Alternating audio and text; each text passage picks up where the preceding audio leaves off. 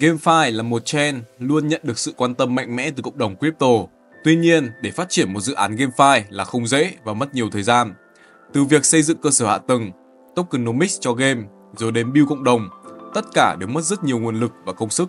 Echelon ra đời để giải quyết các vấn đề trên. Với Echelon, các nhà phát triển sẽ tối ưu đáng kể thời gian xây dựng hệ thống blockchain phục vụ cho dự án GameFi của mình, đồng thời có một môi trường để quản lý và phát triển dự án hiệu quả Vậy Echelon đã làm điều đó như thế nào? Có gì đặc biệt ở Echelon để các dự án GameFi phải sử dụng? Hãy cùng chơi coi VN tìm hiểu thông qua video ngày hôm nay.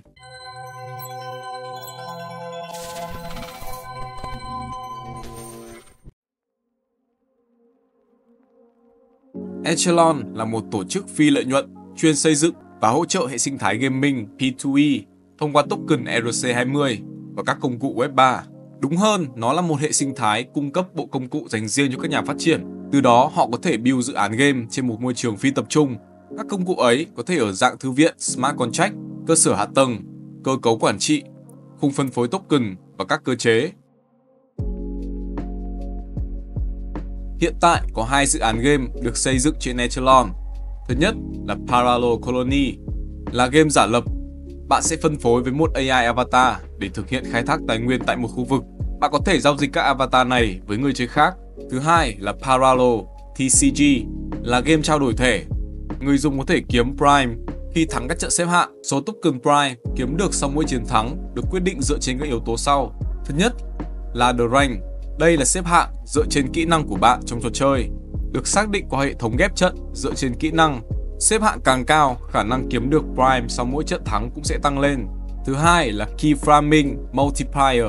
Một số keys có thể hiểu là chìa khóa hoặc các vật phẩm trong trò chơi, có thể ảnh hưởng đến số lượng Prime mà bạn kiếm được.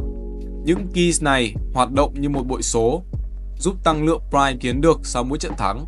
Thứ ba là Number of NFTs Index, số lượng thẻ NFT trong bộ bài của bạn. Càng nhiều thẻ NFT, bạn càng có cơ hội kiếm được nhiều Prime hơn sau mỗi trận thắng. Và thứ tư là win streak, chuỗi thắng của bạn. Chuỗi thắng càng dài thì càng mang lại nhiều prime hơn. Điều này khuyến khích người chơi duy trì phong độ và nỗ lực giành chiến thắng liên tiếp.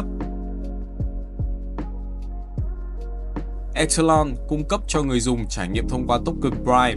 Ví dụ trong tựa game Parallel TCG, người dùng có thể kiếm được token Prime khi thắng các trận đấu xếp hạng.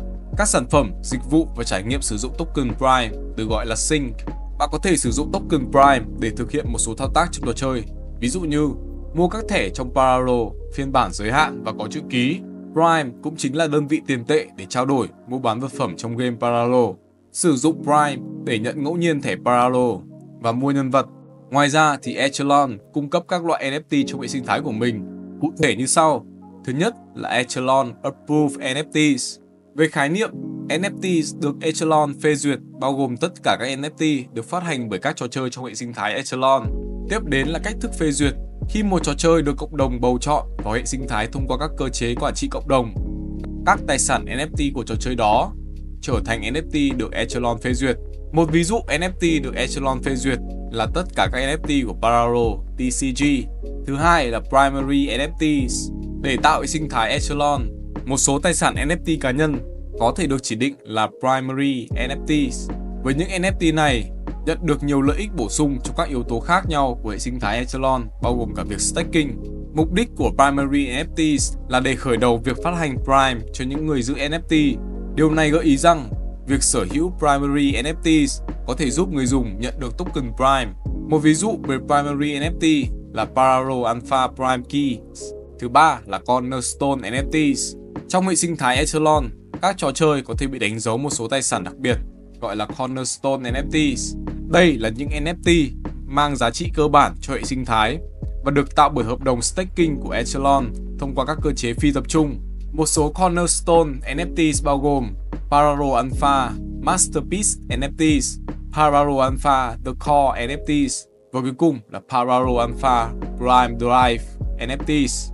Để trở thành một phần của Echelon, các dự án game có thể nộp governance proposal.